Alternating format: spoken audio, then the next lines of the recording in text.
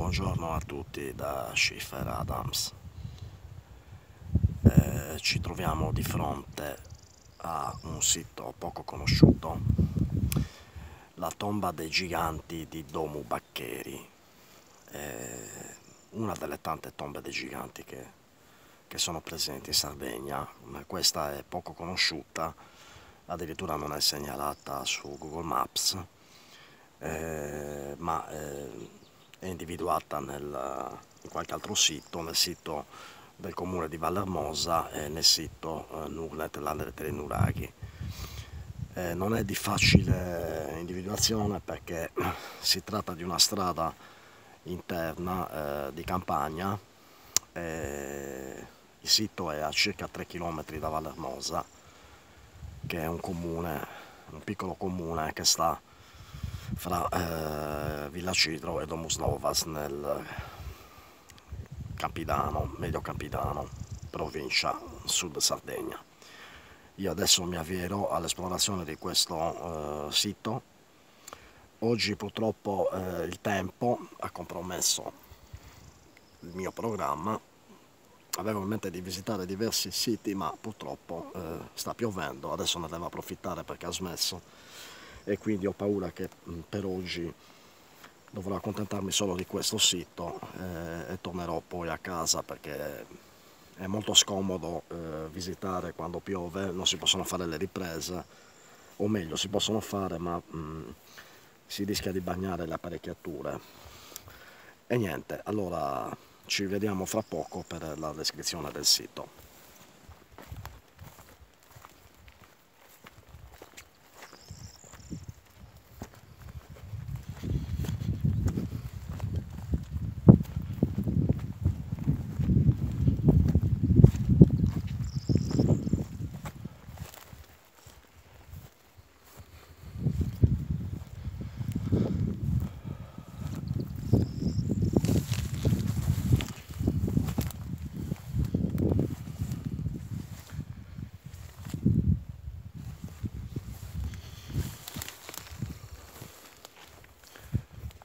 Eh sì, è questo. Eh.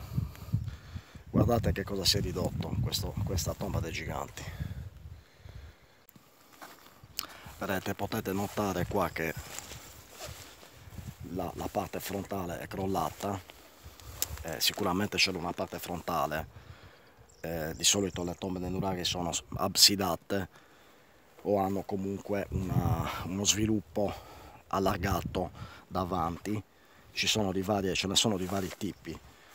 Di solito hanno sempre una, una parte frontale con un ingresso alla tomba funeraria, alla camera funeraria. Questo era l'ingresso, piuttosto stretto, di solito eh, hanno ingressi più larghi e hanno un, un fronte, un fronte eh, della tomba funebre, eh, spesso alcune sono a, a, a corna di toro diciamo o a, eh, o a forma di, di, nave capovolta. Ce ne sono di, di vario tipo.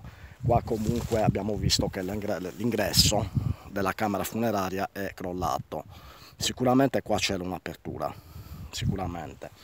Non tutti avevano un'apertura alcune non ce l'avevano. Alcune erano semplici tumuli ma avevano comunque un decoro, diciamo, una, un'entrata che eh, simboleggiava, rappresentava la, la struttura sacra. Eh, a volte potevano essere anche il preludio di pozzi sacri all'interno di di questa camera funeraria ce ne sono alcune che magari presentavano delle, proprio delle, dei, dei, corridoi tipo nuraghe proprio, delle, dei piccoli corridoi con una, con una specie di eh, passaggio eh, ad arco e si scendeva sotto, si scendeva sotto nella camera funeraria. Ce ne sono di diverse tipologie e di diverse, di diverse datazioni. Io non conosco la datazione di questa tomba dei giganti che purtroppo abbiamo visto che è in condizioni praticamente completamente o quasi distrutta è rimasto un tumulo una collinetta eh, e quindi si è persa praticamente la, la forma originaria, è rimasto qualcosa per quanto riguarda l'ingresso principale. Queste sono pietre molto molto antiche, pietre molto antiche, eh, ormai coperte dalla vegetazione, eh, anche dietro lo sviluppo è uno sviluppo diciamo tipo abside ma bisogna capire poi com'era la forma originaria perché eh, chiaramente in alcune parti è crollata. Vedete? Qui sicuramente c'era qualche altra struttura perché ci sono delle pietre che sono disposte in una certa maniera e non credo siano disposte a caso da, da come sono disposte si presume che c'era o un prolungamento della struttura o qualcosa comunque collegata a questa tomba dei giganti.